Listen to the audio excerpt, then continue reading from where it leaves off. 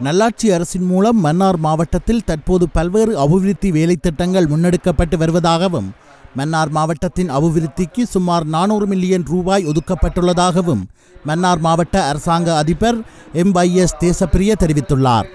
மன்னார் மாவட்ட அபிவிருத்தி தொடர்பாக மன்னார் மாவட்ட செயலகத்தின் மாநாட்டு மண்டபத்தில் இன்று வெள்ளிக்கிழமை நடைபெற்ற ஊடகவியலாளர் சந்திப்பில் கலந்து கொண்டு கருத்து வெளியிடும் போதே அவர் இவ்வாறு தெரிவித்தார். தொடர்ந்து அங்கு கருத்து தெரிவித்த அவர் மெனால் மட்டும் பாருங்கள் மெனால் எவ்வளவு? ஆயிரம். நாலாயிரம் கிட்ட மில்லியன் இப்போ வேலை நடக்குது. அதில் கச்சேரி விடாம மட்டும் ரெண்டாயிரத்தி அறுநூறு. அதை விட பெரிய எமௌண்ட் இந்த மாவட்டத்தில் இதுவரைக்கும் தரையில்.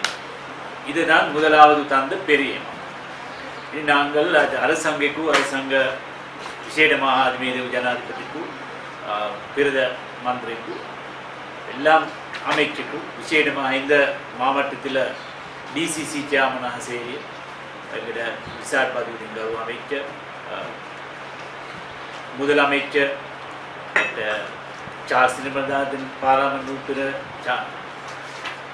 மஸ்தான் மஸ்தான் பாராளுமன்ற உறுப்பினர் எல்லா மாவட்டத்துக்கும் நன்றி சொல்ல வேணும் இங்கே கத்தேருடா சேர்ந்த விஷயங்களை லீடர்ஷிப் எங்களோட டிரெக்டர் பிளானிங் திட்டமிட்ட படிப்பாளர் அவருக்கும் அவருடைய இஷ்டம் எல்லா ஆகும் விசேடமாக இந்த எல்லா விஷயங்கள் இந்த அஞ்சு டிவிஷன் செக்ரட்டரியாக செய்யப்பட்டதுக்கு அதில் சரியான லீடர்ஷிப் சரியான மொனிட்டரிங் எல்லா விஷயம் செய்து ஏற்கனவே செய்ய கொண்டிருக்க. எங்களோட எல்லாம் பிஎஸ் மார்க்கும் மேலதிக அடிச்சல் அதிலேக அரசாங்க அதிபருக்கும் எங்களோட நிதி விஷய சம்பந்தமாக எல்லாம் வேலை செய்யுங்கிற கணக்காளருக்கும் நான் சொல்ல வேணும். உங்களோட மீடியா ரெஸ்பான்சிபிலிட்டி சொன்னால் போன ரெண்டு வருஷத்தில் நான் பார்த்துட்டு உங்களோட எல்லாம் வெப்சைட்டில் உங்களோட பேப்பரில் இப்போ பப்ளிஷ் பண்ண மாதிரி எனக்கு சந்தோஷம் இருக்கும் என்ன எனக்கு தெரியும் ரெண்டாயிரத்தி பதிமூன்றா ரெண்டாயிரத்தி பதினாலு கொஞ்சம் டிஃபரன்ஸ் இருந்த உங்களோட பப்ளிகேஷன்ஸ் டிஃபரன்ஸ் இருந்தா. இப்போ அப்படி இல்லை.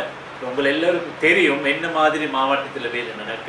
அது சரியான பார்த்துட்டு தான் வடிவாக ஆர்டிக்கல் வடிவாக பப்ளிகேஷன்ஸ் செய்திருக்கு அது சம்பந்தமாக உங்களுக்கும் நான் சொல்ல வரும். எதிர்காலத்தில் அப்படியே உங்களோட ஒத்துழைப்பும் உங்களோட இன்ட்ரெஸ்டும்